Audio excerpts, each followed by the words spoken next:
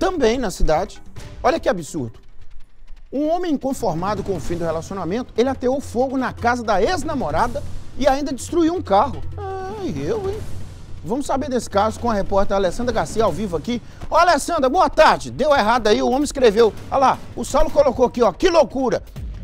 Ficou inconformado e aí vem aquele desespero e o sujeito sai é, sem cabeça, tacando fogo para tudo que é lado, né? Você vai falar sobre isso? Boa tarde.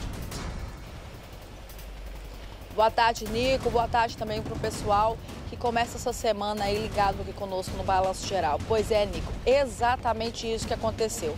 Essa situação foi no bairro Figueira do Rio Doce, aqui em Governador Valadares, durante a madrugada de ontem, domingo.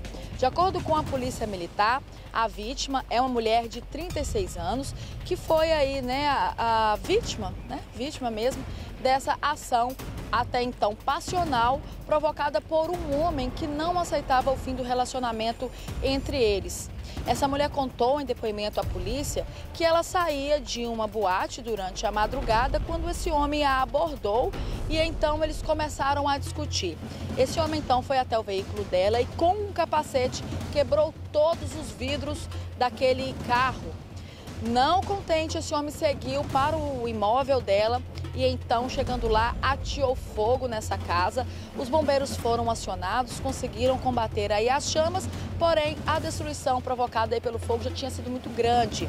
Essa mulher disse ainda para a polícia que desde que eles terminaram o relacionamento há cerca de um mês, ela é constantemente importunada por esse homem e vem sofrendo inúmeras situações constrangedoras e bem difíceis, Nico. Olha para você ver, meu amigo. Eu volto com você.